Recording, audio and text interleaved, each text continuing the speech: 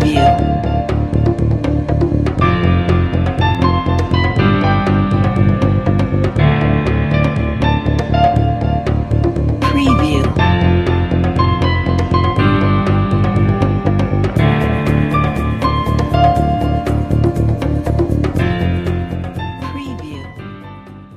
Reality for many South Africans is that they have to queue in the cold just to fetch clean water. This is a reality specifically for residents, perhaps a microcosm of what's going on in the country. Residents of Soshanguve Residents continue to experience water problems. They've been facing shortages for weeks. This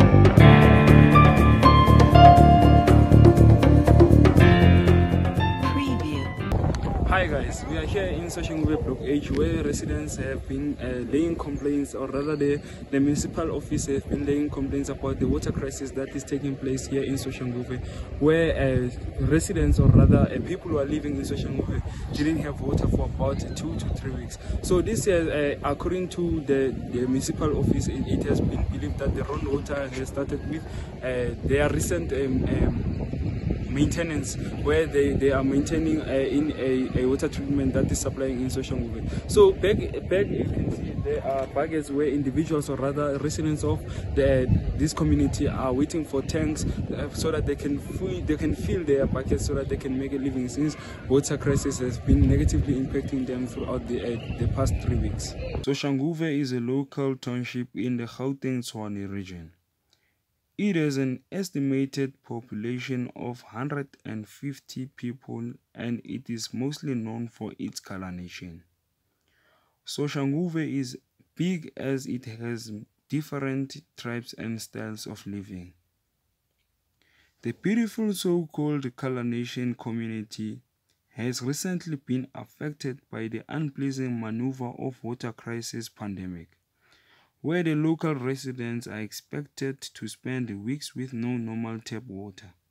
This started when the Rand Water implemented their yearly or annually maintenance on their Zuikerbosch water plant treatment, where it supplies to many townships in the Tshwane regions. Soshanguve, as a result, finds itself as the only township that is mostly affected by this issue. Many people or residents believe that it would have been better if the municipality provided a communique to prepare them for this issue. Our task team tried to contact the local councillors and the mayor's office, but unfortunately we couldn't reach out to them. Later, the Tshwane mayor, Mr. Plinks addressed the media saying that Rand Water didn't communicate with them or with their office. A serious problem with Rand Water in the sense that they do maintenance work at the last minute, they don't notify us, and they don't share their telemetry levels with us. So we don't, we're not seeing the levels of their reservoirs, and so we can't take preventative action. We find out about problems as they occur. Water issue later went extra mile by affecting local students from the lower grades and in the higher institutions such as Tshwane University of Technology, Soshanguve North and South Campus, and the Tshwane North College. mina indaba yamanzi ukuthi engabibikho um ingi-affecthe kakhulu because asikhona ukuthi senze izinto ey'ningi njengokuthi um sikhone ukupheka njengama-students um sikhone ukuthi siwashe so mina njengoba ngumfundi ngenza i- ifunzuma so namhlanje bekumele ngenze ama-practicals. So sigcine singakwazanga ukuthi sigcine siqhubeka nama-practicals because indaba yamanzi ibisilimaza kakhulu. So sigcine singakwazi siqhubeke nabo. So uh, bagcina sekuphoqa ukuthi olunye usuku ukuthi siqhubeke um silinde amanzi ukuthi ebuye kuze sokhona ukuthi siqhubeke. As the Tshwane or Pretoria region is dominating the market or the economic and business district, this issue even escalated to affect the business sector of Soshanguve, where business owners are expected to pay more so that their services or businesses could run. And these water issues critically affected them in terms of profits and business wise. As you know, water is life. Know? So this thing I made it affected too much, more especially when I was you have to know gore toilet e berekisa metsi go apeya go nyakega metsi go tlhapa matso hygiene as all wa nyaka metsi. So then e tlo gore metsi gayo then e re affecta gagolo taba ya metsi so then uh, we have to re re ntshe tšhelete mo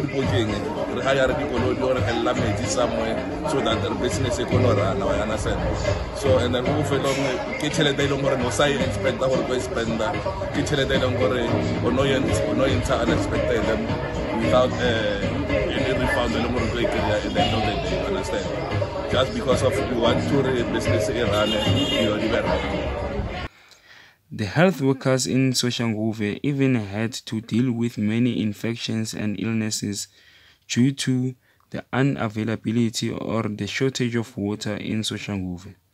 This raises concerns with uh, infections and the number of people being sick due to the water or the unpurified water that they had. I think health wise, uh, the main concern will be hygiene. Also, people taking their medication. It will affect them a lot because water is very essential, especially um, if, if you don't have running water.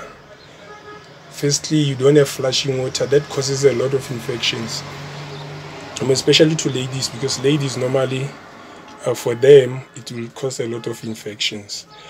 Um, uh, more, another thing is um, we'll end up having the diarrhea and so forth because of if we don't get clean water that will cause uh, a, a, high number of people who, who will be dehydrated.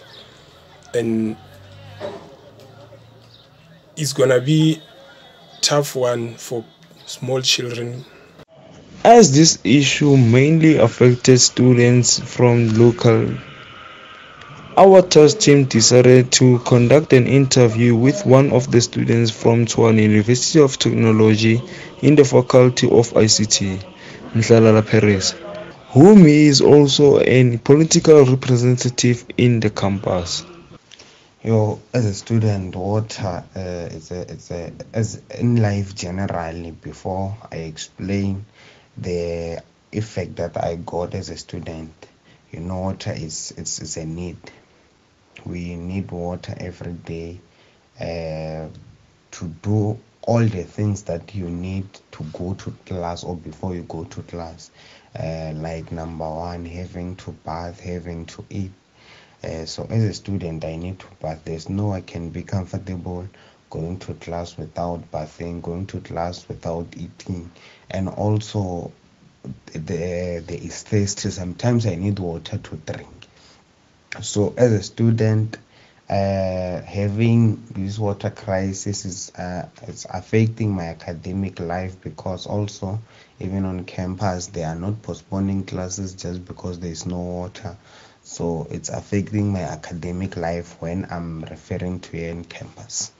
So looking to the uh, that uh, many people from the social residents uh, social community saying that uh, they should have uh, maybe been something that has been done maybe providing tanks or maybe a community alerting them about this issue.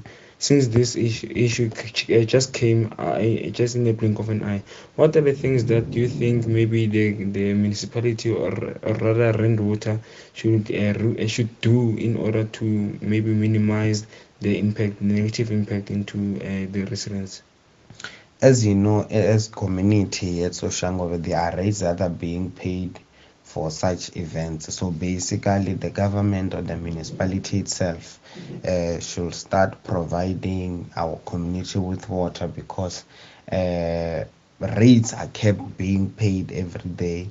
And then also on campus, what can be done to uh, actually reduce this matter is uh, you see i think the water that the campus is depending on is the same water that the community is depending on so what they can do is number one they can try to have their own backup system yeah it's just like uh, boreholes or external boreholes or a lot of tanks that can supply uh, students with water daily.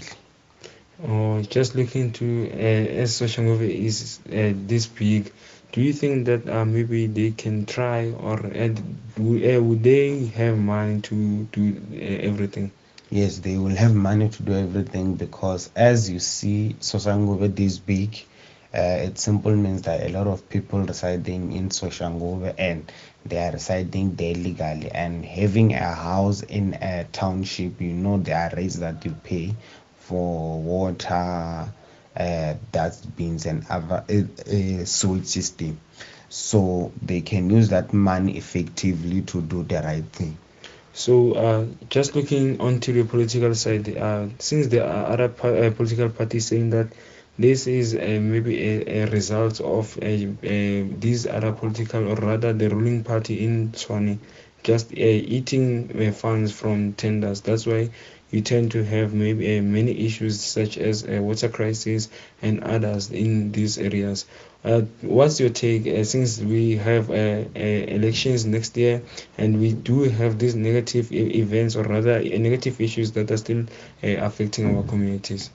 I think w- when it comes to the political view of this, the devil you know is better than the one you don't know. So I, I, I mean, uh, we are in this crisis while we have this ruling party which I cannot mention, but uh, let's say another party come and things become worse. That is to validate my statement. Or the devil that you don't know, it's it's it's it's much different. We we, we, we, we actually used to this because it's been while. Uh, sometimes water will go for two three days, sometimes a week or weeks. So I don't know, Kuri, is this uh, resulting from uh, the ruling party uh, using the money that they were supposed to give us water for any other events or what? So I cannot really, really say that the party that is ruling uh, in the in, in, in our community per se is the one responsible for this. This will also help the residents of Soshanguve in gaining or developing their place socially, economically, and geographically, and also try to develop their recreational facilities and vegetation. The Rand Water Board is expected to meet up with the provincial government of Gauteng and as well as other stakeholders that are in relation to water and sanitation. The scheduled meeting is to focus on the decision and resolving of the water crisis issues that are taking place in and around Gauteng. This will ensure that individuals or rather community members have a green and safe water and they don't have undecided decisions or undecided moves on whether to drink water and not sure if the water is purified or not.